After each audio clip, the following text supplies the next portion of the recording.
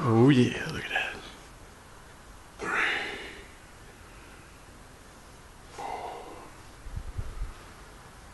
five,